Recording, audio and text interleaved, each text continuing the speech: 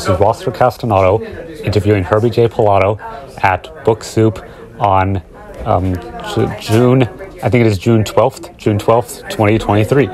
So now, how long did it take to write the, uh, the new book that you have, which is Retroactive Television? Yeah. Well, actually, it took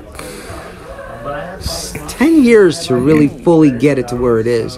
Because originally I had it, a version of it done in 2013, but wasn't totally happy with it.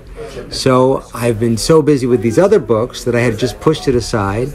And then in the last few years, I went back to the, the manuscript or the yeah the manuscript and started refining it and having some new interviews. So I'd say 10 years. Cool. Very nice. What was it like doing that?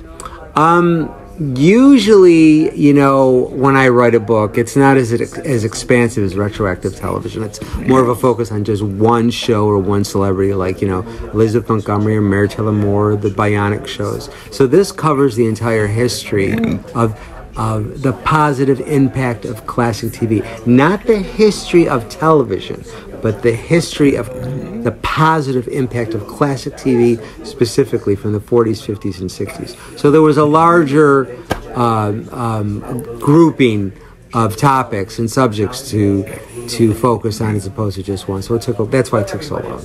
Cool. Very nice. What was the inspiration for the book?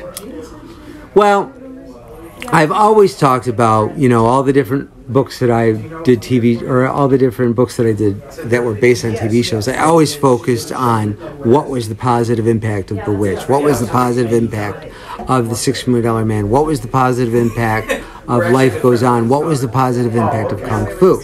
So I wanted to make sure that I covered the positive impact of all shows from the 50s, 60s, and 70s as much as I could uh, to again expand upon what I had already addressed in a smaller scale and to just make it across the board.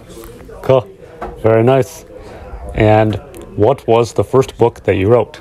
The first book I wrote was the Bewitched book, which came out in 1992, and then I revised that in 1990.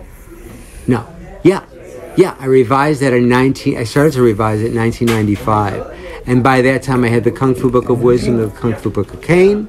And then in 2007, which is a big time before I really published another one, um, there was the Life Goes On book, my NBC and Me book, and the Bionic book. Cool. Very nice. What was it like to write those?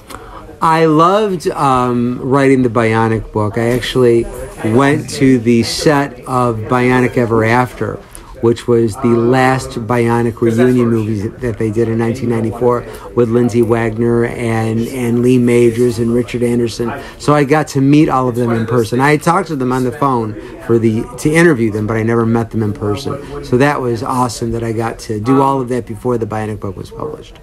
Cool. Very nice. Well, thank you for allowing me to interview you. Thank you very much for your questions, and thank you for being such a loyal supporter. And congratulations on all your great interviewing success. My pleasure. Very welcome. Thank you. Thank you so much. Thank you. You're welcome.